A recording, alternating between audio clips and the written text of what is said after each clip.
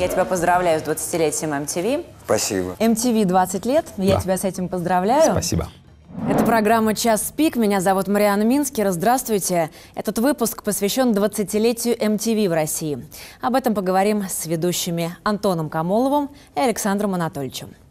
Расскажи для наших зрителей, которые каким-то образом пропустили это событие, ну, может быть, в силу возраста, что было такого крутого в MTV? Честно, Честно. тем, кто это пропустил, я даже не хочу ничего объяснять. Почему? Ну, потому что это примерно так же, как пропустить чемпионат мира в России. Ну, просто, знаешь, как-то не было времени включить телевизор, посмотреть. А что было-то? А я не буду пересказывать. Если ты остался в стороне от главного события э, в жизни телевидения 90-х и начала 2000-х, то я не могу это пересказать. Ну, мне кажется, даже если в силу возраста кто-то пропустил MTV Россия, MTV, в принципе, существует с самого начала 80-х. То есть мне сложно представить себе человека, который не слышал бы про MTV вообще в принципе ничего. MTV — это, ну, как мне кажется, когда он появлялся, где бы он ни появлялся, это везде был прорыв. Он появился в Штатах, это был такой взрыв, потому что после этого понесло- понеслась лавина а, создания видеоклипов. Собственно, благодаря MTV мы имеем видеоклипы в том виде, в котором они есть. Потом появились и другие музыкальные каналы и так далее. И аналогично в России. 20 лет назад а, это был не первый музыкальный канал, музыкальные каналы существовали. Вот. Но как-то так совпало все во времени, в пространстве, во всем остальном, что когда появился MTV, а, вот эта музыка, которая транслировалась на этом канале, вот, она очень четко попала в сердца, в мозги, в уши зрителей. Вот. И поэтому там какой-то такой эффект разорвавшейся бомбы получился. Для меня лично это совпадение всех приятных моментов. Это то, чем я всю жизнь занимался, а потом это превратилось в профессиональную деятельность. То есть это счастье, когда ты занимаешься собственным хобби а, на профессиональном уровне, и это занимает все 24 часа 7 дней в неделю. Это великолепное совпадение, но не случайное. А что ты отвечаешь тем людям, которые все-таки скептически относятся вот к MTV Россия, вот к, К нынешнему или к MTV, тому? к тому именно MTV, которые говорят, ну, клипы там крутили, ну, попса была, ну, подумаешь, ну, что так. Ну, за- зависит от того, на чем базируется скепсис. А, скепсис бывает разных, а, да, с разными аргументами. Вот как ты. Ну, музыка и музыка. Согласен. К тому моменту уже была музыка, та музыка, которая а, была на MTV, она была на некоторых радиостанциях. Некоторые клипы действительно крутились и на MTV, и на Муз-ТВ. Вот, то есть нельзя сказать, что это как-то прям совсем был эксклюзив. Были эксклюзивные периоды, это, кстати, тоже важно для молодежи. Молодежь всегда быть хочет, э, хочет быть первой, о чем-то узнавать. А у MTV был слоган «MTV, ты узнаешь это первым». Это касалось новостей, это касалось, э, касалось э, премьерных релизов, песен, альбомов и, конечно, клипов. То есть сначала, условно говоря, неделю или две недели новый клип Eminem только на MTV можно посмотреть, потом на других каналах. И когда тебе от 12 до 20, не знаю, 8 лет, тебе, конечно, хочется, что я буду ждать две недели, чтобы посмотреть новый клип Эминема. Тогда не было YouTube, тогда не было интернета. Кроме как по телеку ты не сможешь посмотреть э, клип. Поэтому, если ты хочешь быть в тренде, ты хочешь быть модным, современным, вот, сядь и смотри. Вот, кто-то скепсис э, выказывал по поводу Бивиса и Батхеда юмор низкопробный, они отупляют, они дурацкие и так далее. Ну, можно и так смотреть. На мой взгляд, Бивис и Батхит — это сатира. Это примерно, ну, с чем можно сравнить? Симпсоны, сериал «Симпсоны», который многие воспри- наши депутаты несколько лет назад хотели запретить, потому что это оглупляет и так далее, и так далее. На мой взгляд, это грандиозная сатира. Прежде всего, сатира, кстати, на американское общество, на Америку. То есть так выстегивать Америку, как выстегивают а в «Симпсонах» не всегда в шоу Владимира Соловьева удается. Вот, Поэтому как бы и Бивис и Батхеда сложно воспринимать всерьез. А, Ну и в конце концов, тогда же никто не заставлял смотреть MTV. Если тебе не нравится MTV, ты как бы взял пульт. Или если у тебя телевизор еще Рубин или Радуга, ты без пульта подошел, вот так вот переключил и смотришь другое. Я получаю письма от э, людей в личную почту, куда-нибудь там в социальных сетях. И они пишут, мне было пять, я смотрел вас с утра до ночи. Мне было семь, я не ходил в школу из-за утренних блоков на MTV. Мне было 20, я не ходил на свидание, потому что я ждал вашу любимую программу. У нас нет аудитории по возрастам. У нас нет аудитории, которая граничится вот на какую-то категорию. Есть просто люди, которые нас смотрят, а есть не смотрят.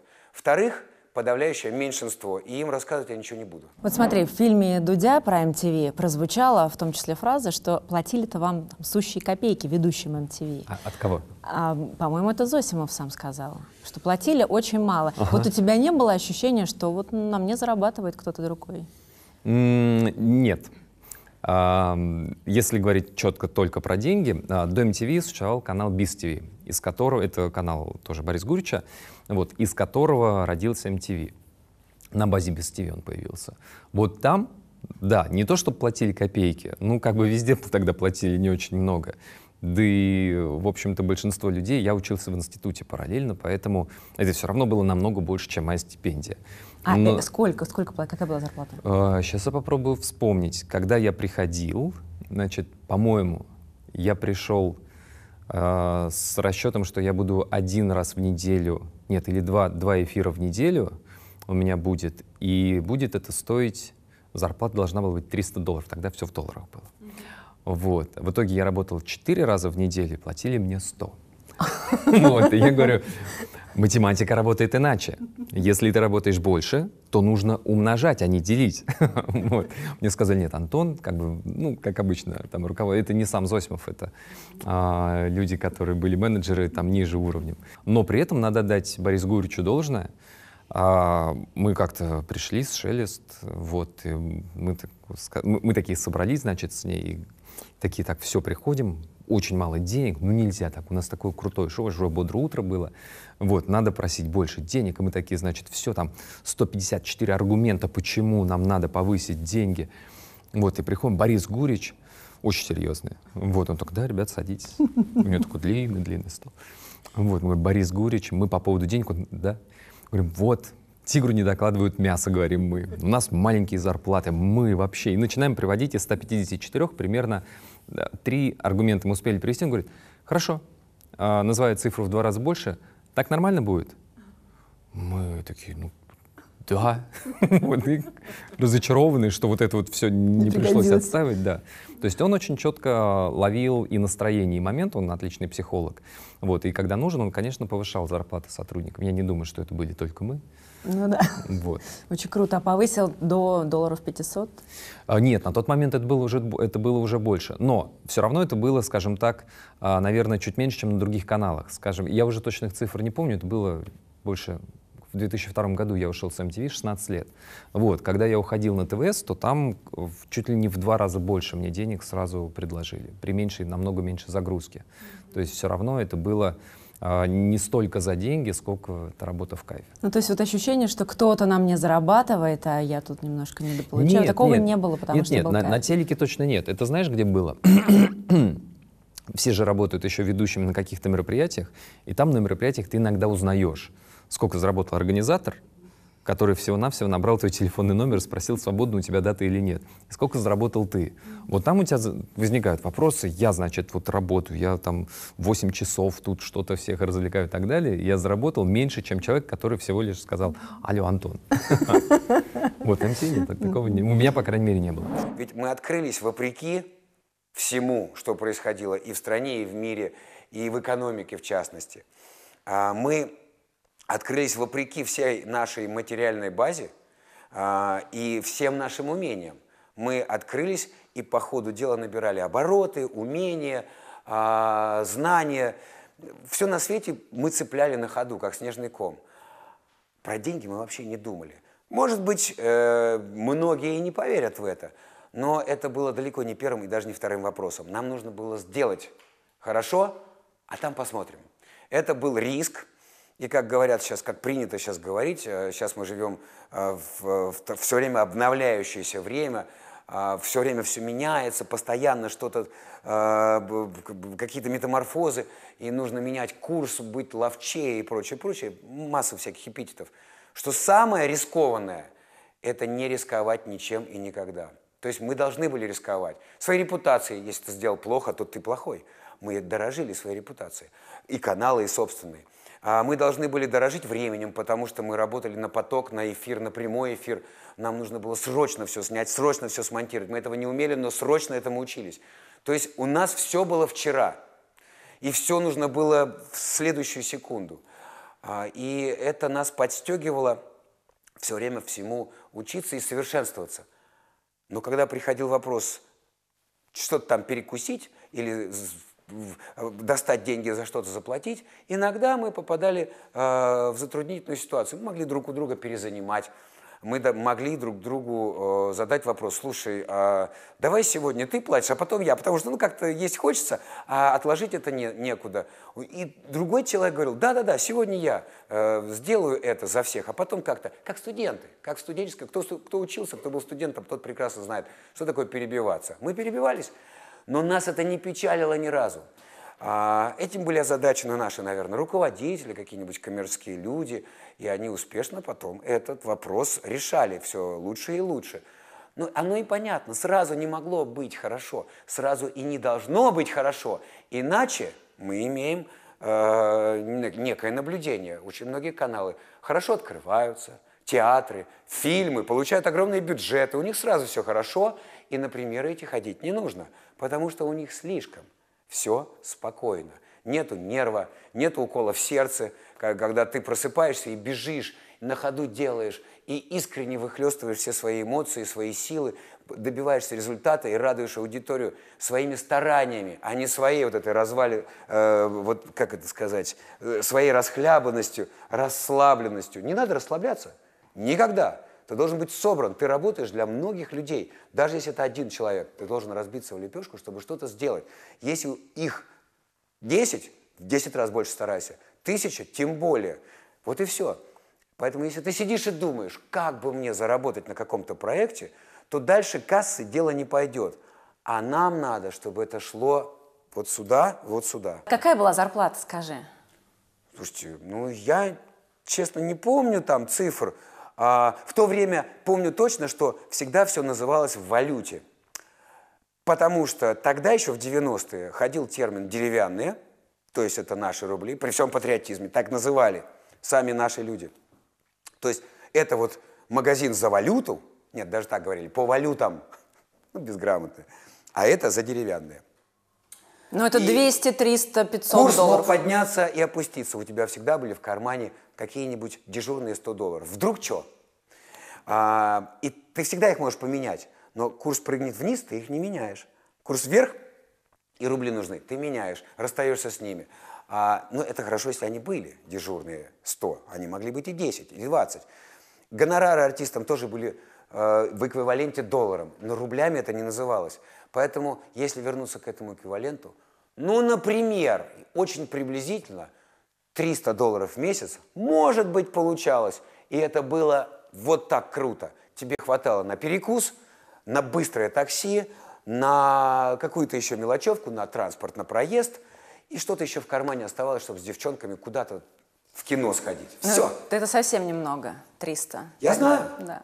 Но тогда это было прекрасно. Зосимов для тебя кто? Безумец, меняющий мир в хорошем смысле слова, как Стив Джобс, например. Это расчетливый коммерсант, бизнесмен или, не знаю, такой Карабас-Барабас, который, для которого вот ведущие марионетки? Я не был знаком со Стивом Джобсом. Мне сложно сравнивать этих двух людей. Вот, и вряд ли я в ближайшем обозримом будущем познакомлюсь. В ближайшие лет 40-50 не планирую со Стивом Джобсом встречаться. Вот. Что касается Бориса Гурича, мне кажется, там все в одном. Он однозначно бизнесмен, причем бизнесмен очень хваткий, очень э, четко просчитывающий. Таким другим и не мог бы быть человек, который в 90-е годы работал и, извините, он до MTV сделал самый крутой концерт ну, нашей страны, а может быть и один из крутых концертов всего мира, а, когда «Монстры рока» в Тушино, по-моему, назывался концерт, там 600, 600, 600 или, по-моему, 700 даже тысяч было. Ну, мало концертов в истории человечества, которые вот подобной массовости. Это делал а, Борис Гурич. То есть он был, конечно, он был бизнесмен, но при этом, а, насколько он рассказывал, я тоже читал это, он не нам в курилке э, рассказывал байки, я читал его интервью, что это была не первая попытка, не первый заход привести MTV в Россию. Вот. И до этого не получалось. То есть это, я думаю, что может быть не только, и наверняка это не только расчет, потому что, ну, я не знаю, как он для себя это определял, миссия, не миссия, может быть, просто он, он любит хорошую музыку. Это факт. Вот. Ему, конечно, хочется эту хорошую музыку, этот стиль, MTV, да, вот в широком смысле, а, принести в нашу страну, чтобы и наша страна стала частью общей большой культуры. Все-таки мир-то глобализуется, чем дальше, тем сильнее, и тогда это уже начиналось. И я думаю, что некий романтизм, назовем это так, тоже в нем присутствует. У него такой симбиоз. Карабас-Барабас э, это точно не э, про Бориса Гурича, потому что, да, он самый главный в нашем театре MTV, да, конечно, он э, всегда разговаривал с нами, э, давал нам право голоса, советовался, э, мог э, отдать нам на откуп любую тему, программу, но при этом он строго контролировал и мог внести свои коррективы и что-то запретить. То есть, То есть цензура была? Нормально, он босс. Но никакой не Карабас-Барабас, потому что нас никто ничего не заставлял делать. Э, от нас никто ничего не требовал. Мы себя требовали. Вот и весь секрет. А, и требовали друг от друга своевременного выполнения чего-то, все большего креатива, все больше энергии, а, все больше занятости. Нам всегда было мало, мы были дико жадные, не до денег, до времени и до результатов. И мы, когда нам что-то удавалось, мы загружали себя еще больше. Я думаю, это радовало нашего босса. Да и он круглые сутки вместе с нами работал. Просто он действительно бизнесмен, он действительно вел свои расчеты и следил за тем, чтобы вся история выглядела красиво и на рынке, наверное, и в коммерческом смысле, и в эфире, чтобы все было э, по-настоящему, по MTV-шному. Он следил за всем. Но Карабаса его никак не назвать, потому что мы его любили. Карабаса все боялись. И Карабас всеми командовал и приговаривал, когда больно. А нас не нужно было строить и как-то понукать. Нас не надо было призывать к порядку. Мы за ним, за порядком и за вот этой творческой чехардой сами ревностно следили. Поэтому э, у Карабаса все основано на вертикальной власти, если брать эту знаменитую сказку. У нас тоже была вертикальная власть. Все равно э, без дисциплины мы бы никуда не, не тронулись с места. Но это было построено на другом, на взаимном доверии, на любви, на постоянном общении, на дружбе. То есть э, другая закваска. Слушай, а цензура на канале была?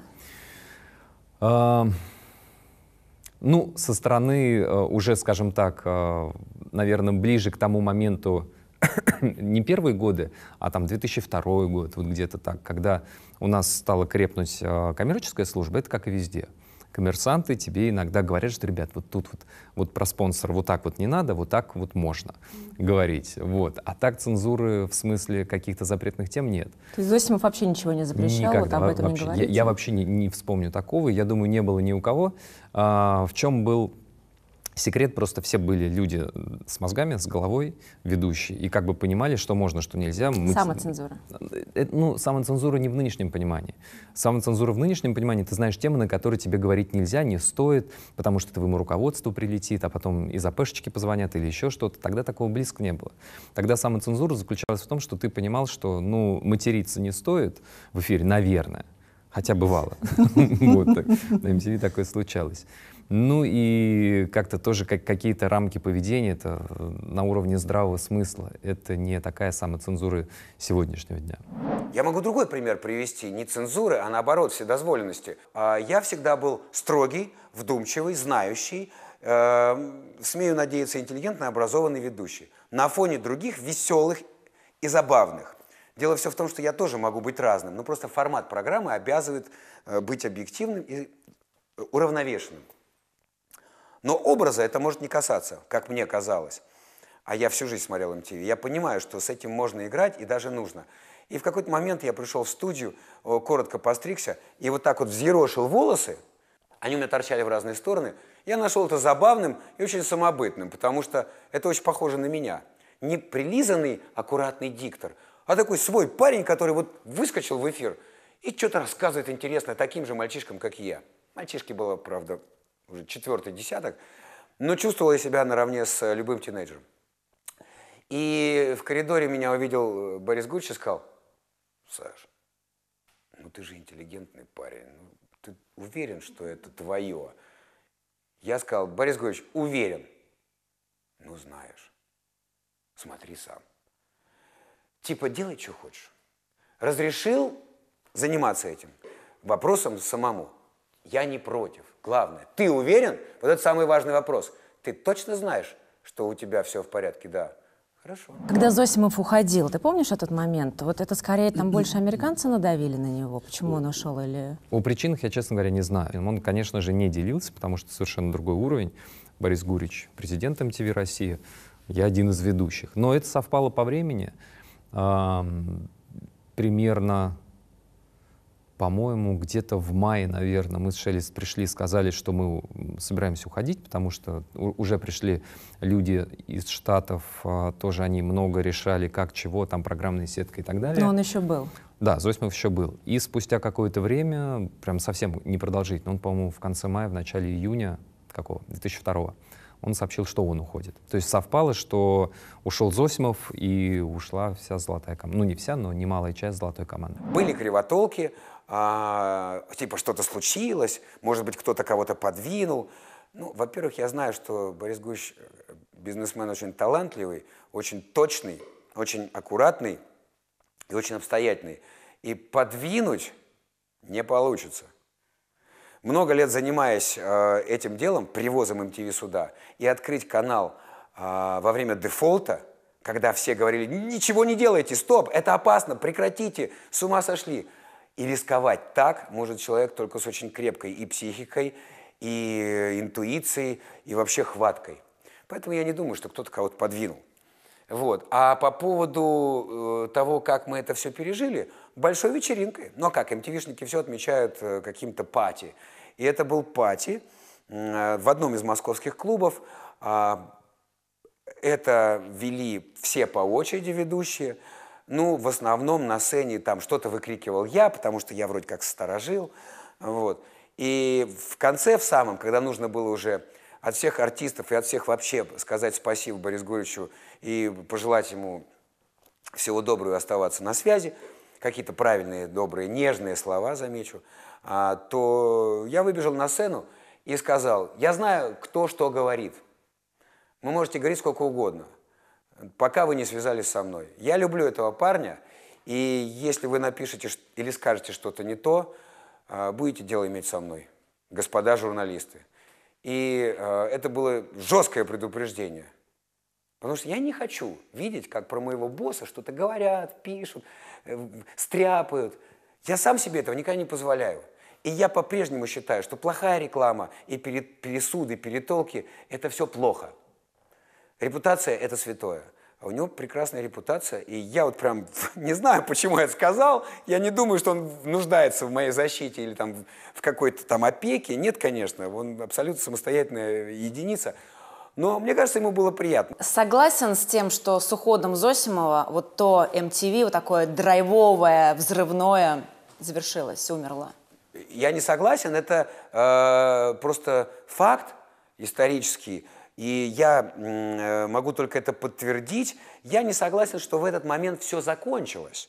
Потому что остались крепкие ребята, которые э, запускали канал и продолжали на нем работать. В конце концов, я по себе знаю, я делал все, что мог, чтобы канал по-прежнему существовал э, и хорошо существовал, жил и радовал публику, и чтобы мы кайфовали от того, что мы делаем.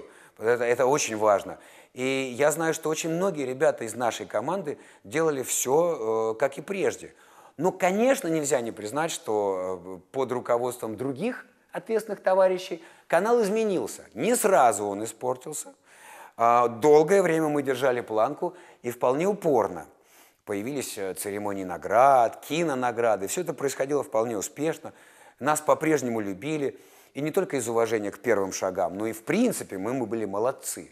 Конкуренты нас ненавидели, нам завидовали, глаза улыбались, а за спиной там что-то шептались и передирали с нас манеру съемки, манеру монтажа, манеру ведения. Появлялись наши полутески в разных городах, в разных республиках СНГ. Появлялись люди с отчеством фамилии или появлялись такими же никнеймами, появлялись программы с почти такими же названиями. Американская MTV начиналась как э, телестанция качественной рок-музыки. Потом угу. уже появились разные стили, направления, рэп в том числе. Вот не считаешь ли ты, что это деградация музыки? Рэп Да. Р- рэп это кал, ты имеешь в виду, как бы вот эти вот Ну, знаменитые вот, надписи на, на- на стенах а, русских гетто. С точки зрения музыки, пожалуй, да. Но это я сейчас могу начать брюжать. У меня 11-летний сын, который слушает современную музыку. И, конечно, по большей части это рэп-артисты. Если внимательно, я, я стараюсь следить за тем, что ему интересно, вот, и я слушаю разных рэперов. Есть рэперы совершенно примитивные, конечно, там драм-машины и все. Есть рэперы, которые заморачиваются на тему всяких звучков, а, продакшена и так далее. То есть там интересно с точки зрения именно производства. На мой взгляд, не всегда есть мелодия. Но мне кажется, деградация в этом смысле чуть в другом, потому что если наших рэперов взять, они очень часто берут а, прям кальку с американских рэперов, не заморачиваются, они берут бит, то есть подложку музыкальную, переводят текст, причем переводят, ну, практически перевод с подстрочника, вот, и делают раз, и русский хит готов. Если сравнивать э, рок-музыку, рэп-музыку и так далее, ну, говорят сейчас, считается, что рэп — это новый рок, что рок уже не музыка протеста, а рэп — музыка протеста. И он, Фараон, записал новый альбом, где он уже не матерится просто и рассказывает о своей сексуальной жизни, а рассказывает про пенсионную реформу. Я серьезно. Так что, как бы, может быть, в этом смысл. Но мне, конечно, я слышал, есть такое выражение, что а, человек а, любит ту музыку, которую он слушал в 25. Ну, там, с 20 до 25, что всю жизнь он будет любить, он может слушать, заставить себя слушать и другую, но любить он все равно, вот у меня примерно так и есть. 20-25 я слушал, там, не знаю, Red Hot Chili Peppers. Вот у меня это одна из любимых групп. И Джамира Квай, и Джордж Майкл, и Guns N' Roses, и там, не знаю, Stone Temple Pilots. Вот это как бы мой круг, которых это я слушаю новое вместе с сыном и постарчески говорю, ну, в наше время. Считать рэп э, и вообще весь хип-хоп, э, всю эту культуру искусством или нет, я не смею. Это, безусловно, культура, это, безусловно, музыка. У нее есть огромное количество звезд, талантливых исполнителей, поклонников. И пусть, пусть. То, что я это не слушаю на своих бобинах, кассетах или виниловых дисках, это не означает, что я к этому отношусь плохо. Я ведь и рок-музыку не вс- не всю слушаю. Ту, которую пускали с 81 года, я ведь тоже всю знаю, но избирательно пропускаю в свою фонотеку и что-то ставлю в радиоэфирах или на своих э, выступлениях диджейских. Я просто а, очень четко, профессионально понимаю, это для публики, которая чего-то ждет, это им должен это дать, а это для меня.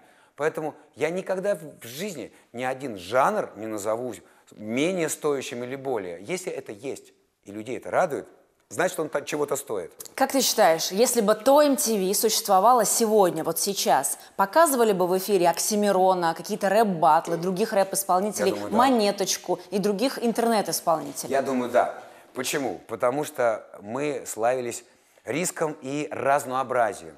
У нас, конечно, был формат, потому что без формата не существует ни один эфирный орган. А, Но, а, знаешь, как в бойцовском клубе, все время вспоминаешь это. Первое правило бойцовского клуба – никому не говори о клубе. Второе правило – никому не говори о клубе. Или смотри, пункт первый. Вот так и здесь. У нас очень часто было так. Формат-то формат, но клип-то клевый. Пусть крутится. Вроде непонятно, куда отнести, но всем нравится. Поэтому, если эти батлы а, являются предметом внимания, кому-то они нужны, интересны, они кого-то заводят, будоражат, кого-то задевают или кого-то прославляют, пусть будут. И эти артисты делают что-то для публики, и она им благодарна. Значит, мы должны это показать. MTV тот был каналом, который не а, следовал за трендами, а который эти тренды создавал. Можно, вот сейчас, поскольку 20 лет было, естественно, там и у Бориса Гурича на страничке еще где-то там все поздравляют друг друга и пишут, в частности, Зосимову, да, поскольку это фигура серьезного масштаба, много музыкантов, которые рассказывают, что наш первый клип попал к вам, и мы его положили просто на проходной MTV, на кассете, на ВХС. Но сейчас такое разве возможно? Я вот сильно сомневаюсь, честно говоря. То есть тогда это, это правда было, приносили кассеты, приносили какие-то убогие клипы, смешные клипы, клипы с выдумкой. Сидел художественный совет, там входило, ну, не знаю, человек 10-15. Они там плюс-минус как-то ротировались. Вот, выносил, всё, кассеты смотрели, все говорили, нет, это фигня, а вот это вот давайте поставим. Часть из этого попадала в 12 злобных зрителей. Потом там свой худсовет уже из э, телезрителей, из молодежи. То есть это все такая... абсолютно некоммерческая такая история, можно было зайти с улицы. Да, да, да. И я говорю, это можно, вот интересующиеся могут зайти на страницу Зосимова в Фейсбуке и посмотреть, что ему пишут музыканты. Там, не знаю, группа ППК, которые, а помнишь, Эдуард Артемьевскую, они сделали ремикс. Этот ремикс занял, там вошел в десятку в Британии, клубный, в клубном чарте.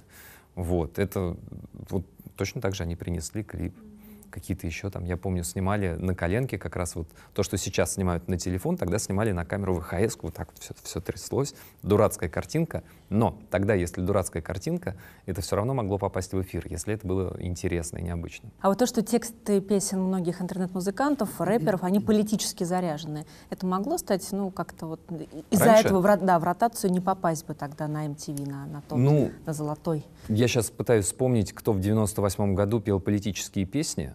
Тогда не было пресса внешнего, не было внешней цензуры. Тогда да, а если бы сейчас, вот мы говорим про то, что если бы тот MTV был вот в наше время, тогда это могло бы стать препятствием для, для того, чтобы попасть Есть ли сейчас каналы, которые могут себе позволить э, поставить что-то Политически в- заряженные? Да. RTVI? Напомните, вы на какой кнопке в Москве и Петербурге? Да, вот, вот и ответ. То есть сейчас просто конструкция телевещания немножко поменялась, что, конечно, очень грустно и, на мой взгляд, немножко странно, потому что, ну, я не верю в то, что песня может привести на баррикады, по крайней мере, в современном мире. Раньше, может быть, сейчас э, всем уютно, все сидят у себя, смотрят в интернете, вот, и они вместо баррикады поставят лайк или там перепост. Ну, это Вот. тоже опасно в наше время. Лайки и перепосты М, можно... Опасно с точки зрения, да, власти, что они видят какую-то угрозу, но мне кажется, они видят угрозу там, где ее нет. Сейчас на фоне конфронтации с Западом могли бы вас признать пятой колонной? Вот если вот то MTV за пропаганду, не знаю, западного образа жизни, ценностей. Как Ну, запросто могли бы. У нас депутат Милонов не дремлет. Конечно, он бы еще и пропаганда гомосексуализма. А, Кстати, да. а если клип «Smack My Beach Up», а если вспомнить этот клип, э, там, не знаю, помнишь ты или нет, это от лица человека, э, как человек просыпается, значит, вот он выпил водки, вот он понюхал кокаин, вот он пошел, вот у него голая женщина, вот он его стошнило, вот, э, то есть это прям как жесть. Я не представляю сейчас Милонова, Яровую Мизулину, которые смотрят и говорят, «Ну, мне кажется, немножко перебор. Говорю, Конечно, пятая колонна, тем более а, сейчас наверняка MTV был бы, как это называется, иноагент, Потому что, да, MTV Россия, он же был дочерней структурой э, Viacom, MTV International. Кстати, да. Вот, и там, может быть, был бы маленький значок желтый Иноагент. иноагент. Скажи, приходилось ли тебе вести какие-то мероприятия для чиновников, политиков? Сплошь и рядом. Знаешь почему? Почему? Потому что они тоже выросли на наших программах. Я тебе клянусь, время от времени ко мне подходит какой-нибудь 42-летний чувак и говорит, Александр Анатольевич, можно фоточку? Я ведь вырос на ваших программах. Я говорю, ты-то куда? У тебя и пузо, и галстук, и охрана, и майбах, или я не знаю что. Ты-то куда? Он говорит, да это все не важно. Вот фоточку. Мне не делали таких предложений рабочих, а, за которые я бы брался только из-за денег, чтобы потом краснеть. Я понимаю задачу. У нас есть мероприятие. У этого данного человека есть какой-то повод. У него дочь выходит замуж. И они устраивают огромную VIP, какую-то супер-лакшери свадьбу за границей. Это- я, я отношусь к этому как к человеку, у которого радость в доме. Он счастливый отец. Все. Или там можно переставить местами эти слагаемые, да? И я просто веду мероприятие. Не потому, что он кто-то, а потому, что есть сценарий, и задача, и повод, и праздник, и артисты, и все у нас хорошо. Чем он занимается до и после этого праздника, меня не касается. И э, это не является частью этого праздника. Да, он богат и платит за все деньги. Спасибо ему. Откуда они берутся, не моя задача. Я ведь всего-навсего энтетейнер, если честно. Я знаю и вижу больше, чем может показаться. Но я улыбаюсь и веду себя порой как просто конферансье. А для бандитов? А, С бандитом у меня была смешная история. У меня э, был юбилей, я вел юбилей, а, женщина, достаточно взрослая. Я еще удивился, надо же, я веду. Вот, и, значит, я приехал туда, и такие замечательные люди. У нее муж очень трогательный, который, собственно, все оплачивал, естественно. такой, и когда поздравляли друзья мужа, которые еще чуть ли там не с юношества, они все похожи, я смотрю на них такой за кулис, как слушаю, как они поздравляют друг друга, похожи на такие вот айтишники, то есть младшие научные сотрудники. Я думаю, вот как вот тогда они были младшие научные сотрудники, ну как-то вот встроились, вписались. А там еще какой-то такой большой дядька такой встает, значит, и рассказывает, что вот мой, я думаю, какой наверняка тоже замзафлап какой-нибудь был. Вот. А потом как-то так интересно ради забил фамилию, а это ОПГ. И эти люди, которых я думал, что это какие-то замзавлабы, у них там вообще в 90-е прошли так серьезно. Я думаю, вот террас. Вот это да. Ну вот я знаешь, к чему? Были ли люди, которым ты отказывал когда-нибудь именно из-за идеологических? Да, идеологических причин? Ну, ко мне не обращаю. А я отказываю в политических акциях, я не, не принимаю участие.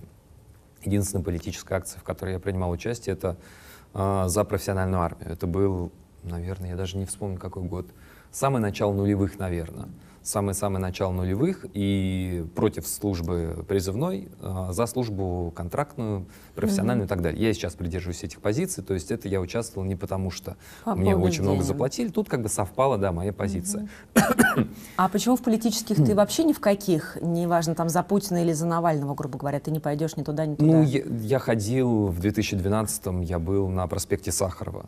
Я, это, это не за какого-то определенного да. человека. Да, это другая история. Вот, но как бы я туда ходил. Если совпадает с моими убеждениями, я хожу. А, по работе агитировать, э, ну вот сейчас ведь очень многие пишут у себя в инстаграмах, как, как похорошела Москва. И мне тоже говорили, Антон, вы же заметили, как похорошела Москва, может напишите тоже? Я говорю, нет. Ну вот, я как бы, я сторонюсь, тем более, что если это не совпадает с моими мыслями, если совпадает с твоими идеями и взглядами, надо 10 раз подумать, потому что общество крайне поляризовано. Ты ни до кого ничего не донесешь, ты никого, моя позиция сейчас, ты никого не переубедишь. Я со своими знакомыми, мало знакомыми, родственниками, мы иногда там спорим на какие-то темы такие горячие, переубедить невозможно. Только можно рассориться. Поэтому тут нужно 10 раз подумать, даже если это совпадает с твоими убеждениями. А если не совпадает, конечно, сразу нет. По поводу конкуренции. Чувствуешь ли ты, что дышат в спину, не знаю, люди из интернета? Что вот уже прям... Нет. Мне никто в спину не дышит и никто Где мне там на молодая не шпана, наступает. что сотрет нас Я самостоятельная земли? единица, я все равно блуждающий форвард. Я когда-то передохну, когда-то вырвусь вперед. Мне нельзя дышать в спину. Я очень не люблю, когда вообще со спины подходят. Э, я как старый охотник, э, ко мне красться не надо. Я могу отреагировать э, очень неожиданно и неприятно. А я очень радуюсь за всех, но я что-то не помню, с кем я конкурирую. И в чем? Блогеры – ютуберы, да ради бога, пожалуйста, я очень люблю посмотреть на чужие успехи и порадоваться. У меня это умение с самого детства очень хорошо создано, и, и я его культивирую. Это мне позволяет, мне что-то внутри позволяет радоваться за других. И никогда никому, ни в чем не завидовать. Вы не представляете, как это легко. Сейчас любой скажет, я тоже. Ты уверен? Очень многим просто тяжело. Ко мне один очень важный дяденька, очень большая звезда в нашей стране. Звезда вот в настоящем смысле. Не потому, что его все знают, а потому, что он миллион лет на виду и на сцене. Он подошел ко мне и сказал, не буду имитировать акцент, потому что сразу поймете, кто. Хотя имитатор я хороший. Он сказал, я знаю, сколько тебе лет. Как так? Что? Ну, глупо отвечать, что в таком году родился, поэтому столько лет. Нет, нет, нет, ты не отшучивайся. Вот ты мне скажи, вот как ты меня так провел? Я ведь был уверен, что ты все тот MTV-шный тинейджер, а ты вот такой дядька. А по метрикам тем более. Я сказал, что так само получается, я к этому отношусь легко и просто, это просто цифра – я действительно не заморачиваюсь на возрасте, потому что, ну, нет глупее занятия, чем сидеть и думать, мне уже или мне еще сколько-то. Пока ты сидишь, думаешь или строишь планы, время-то уходит. Но он сказал, внимательно посмотрев на меня, я понял, ты ведь никому никогда не завидовал. И ты ведь двигаешься налегке, ты ничего за собой не тащишь. Нет, люди из интернета не дышат в спину, потому что они ушли далеко вперед в интернете. Ну, посмотреть даже банально, сколько подписчиков у меня э, YouTube-канала у меня нет, а там с миллионными э, армиями подписчиков, молодые ребята. есть талантливые, есть совершенно какие-то, А как вот ты к ним относишься? Потому что, допустим, в юморе есть как вот Данила Поперечный такой персонаж, а к которому профессиональные юмористы относятся, ну, так, скептически. Да, я типа, ну, смотрел, Есть там э, 4-5 шуток и все. А вот ты как к таким людям относишься? Ну, по-разному. Это же вопрос, тут я перехожу в разряд зрителя. Вот, я смотрю у Поперечного, я, я удивлен, во-первых, что человек из интернета, и это круто, удивлен в хорошем смысле, что он собирает по 6-7 тысяч зрителей, не Тысяч? появляясь нигде. Да-да-да, 6-7 тысяч. Вот. Я слушал одно его большое шоу, стендап, мне не очень понравилось. Тут я скорее согласен, по-моему, Руслан Белый Да. а, рассказывал. том у- числе, у, того же да, Дудя, да. да, он, он как раз разложил как профессиональный, я не профессиональный юморист. Белый сказал, что у Поперечного много недоработанного. В этом смысле э, Белый понимает, о чем говорит, потому что все шутки их все равно нужно докручивать, доводить до совершенства. Вот. У Поперечного, наверное, этого нет. Наверное, это я там интуитивно почувствовал, потому что мне как-то показались, а может, просто темы не мои. Поперечному сколько ему, 20 с копейками? Я мог бы быть его отцом. Ты помнишь тот день или тот эфир, после которого ты проснулся знаменитым, вот что называется? Я не знаю, что такое проснуться знаменитым. Я помню приятную эмоцию, когда у меня впервые в жизни а, взяли интервью. Они хотели сделать хороший материал с одним из ведущих музыкального телевидения. В тот момент это был без ТВ. Я к тому, что я вообще еще не понимал, как общаться с прессой, чего они от меня хотят, что им предоставить, какие материалы и вообще зачем я им нужен. Я просто выполнял свою работу, сэр. Я к этому относился всегда очень по-армейски. А тут вопросы, ответы про меня, про что-то. Мои фотографии. Выходит эта газета, мне дают экземпляр, я приношу маме, мама говорит, Хорошо, спасибо, приятно. Вот в этот момент я понял, что ко мне есть какое-то внимание со стороны публики не только во время эфира. Вот, наверное, в этот момент я подумал, интересное ощущение. Но я никогда не относился к этому. Боже мой, я на обложке журнала, боже мой, я на развороте, теперь я знаменит. Я к этому всегда очень спокойно относился. У меня плавно шло. Я сначала работал на радио, меня чуть-чуть узнавали, потом на другой радиостанции чуть побольше, потом без ТВ, где я вроде работаю на телевидении, а вот нет такого, что я выхожу к лобному месту там перед соб- собором Василия Блаженного, и все, как давай меня узнавать. А, программа, наверное, была, конечно, самая яркая «Бодрое утро», которая прям выстрелила, попала. Вот как раз тоже попала, попала в зрителя. Мы же там не придумывали, не просчитывали изначально. «Бодрое утро» планировалось а, как утренняя программа со сценарием. У нас были шелест расписаны, там роли, там какие-то реплики. Вот, и мы неделю, может быть, даже полторы недели мы работали, прямо у нас телесуфлер, мы как-то так а, раскидывали шуточки, шутили. Вот, потом все забыли и полная импровизация. А, было забавно, когда я первый раз сел в жюри КВН. Я к тому моменту уже, по-моему, года два в ежедневном режиме работал на программе «Бодрое утро», которая была достаточно популярной и хорошие рейтинги имела. Первый раз я появился как член жюри КВН, и мне потом все позвонили, написали, значит, сообщение, что видели тебя, вообще круто. Там члены жюри показывают, ну, там, семь раз за игру.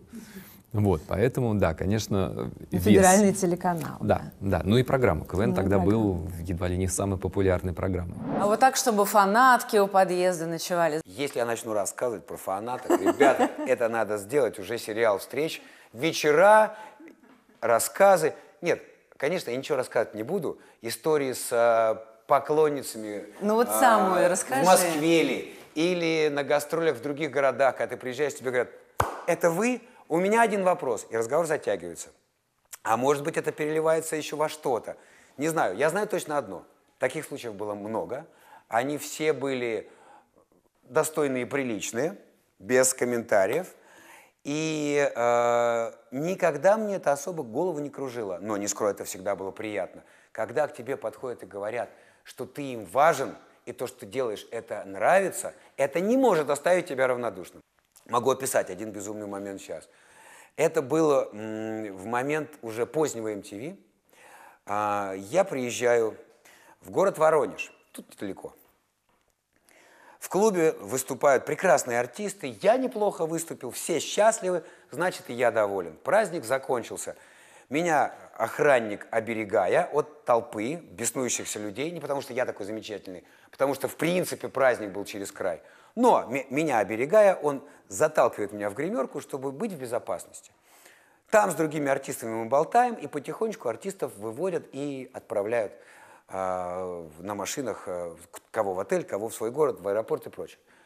Остался я, пришел в себя и собираюсь выходить.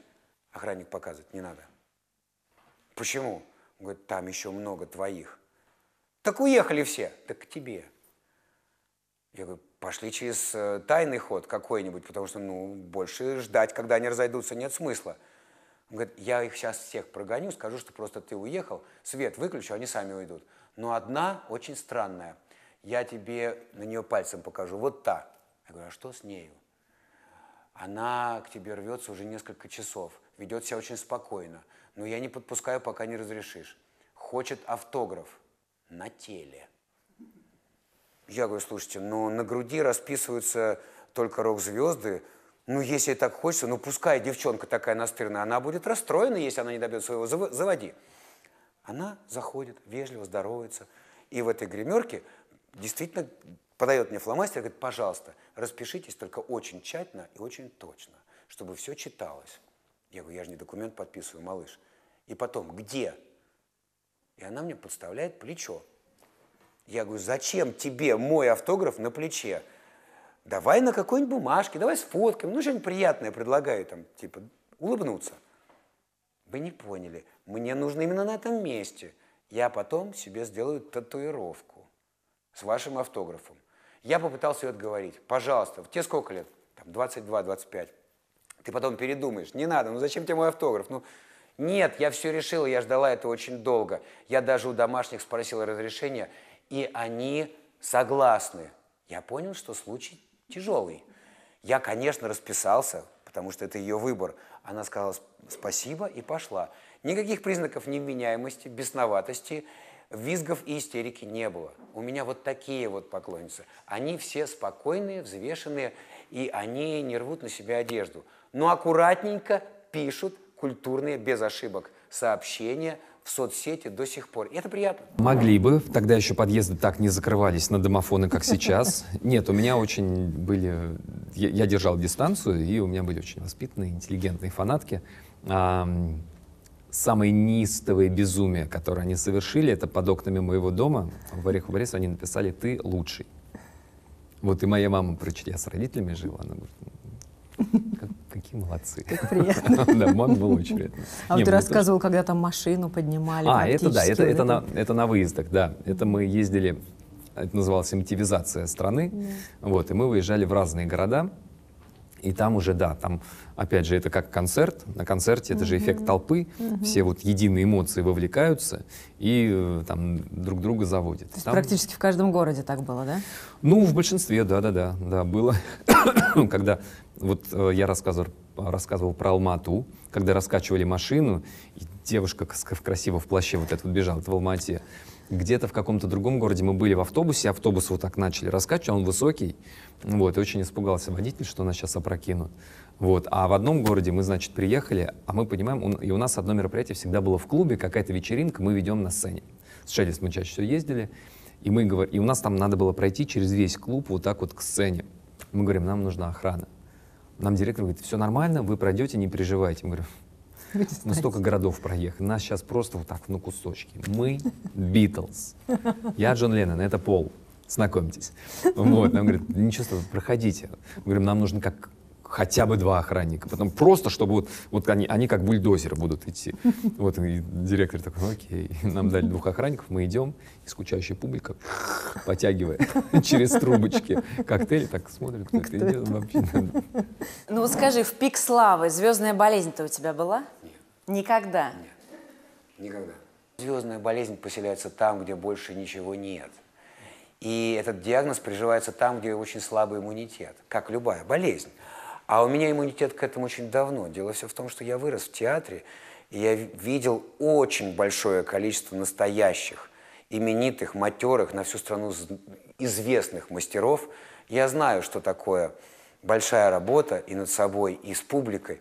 Я видел это своими глазами, И я отношусь к этому как просто к работе. И фраза «я просто выполняю свою работу, сэр» – это не отрывок из кинокомедии. Это реально мое отношение. Поэтому сделать что-либо, чтобы я сошел с ума от себя, от наград, от восторгов, э, и от комплиментов, и от фанаток, ничего нельзя. Это невозможно. У меня стойкий иммунитет. Если что-то получилось хорошо, и это получило признание, это очень здорово. Если не получил, я буду стараться, пока это не принесет удовольствие публике. И если публика в результате довольна, у меня не закружится голова. Я просто посмотрю на часы и подумаю, кажется, надо выспаться, потому что завтра снова в поход. И все. А может и не удастся выспаться, но в поход пойду. Потому что, конечно, комплименты и популярность вызывают привыкание и не отпускают никогда. Привыкание тяжелое, а, и с ним справиться невозможно. А если и захочешь, не получится. Это сложно сказать изнутри. Мне кажется, что нет. Опять же, наверное, в силу того, что не было какого-то такого, знаешь, момента, что раз, и я там... Но все равно же была мега слава. Вот как ты это искушение славой прошел? Может быть, каких-то ну, друзей? я учился в Бауманке в тот момент. Там, знаешь, очень, очень сложно, когда у тебя искушение славы, а тебе еще писать ди- диплом, да, или по сопромату на Олимпиаду идти. Ну, во-первых, я уже был достаточно взрослый. То есть ну, давай возьмем как «Бодрое утро», да, такой мощный импульс. «Бодрое утро» — 99-2000 год. Это мне уже было 23-24. Это уже не совсем сопливый. Вот. Плюс меня хорошо воспитали родители. Как бы они так мне как-то, как как-то вложили. Вот. Поэтому, мне кажется, Крашандель не сносил.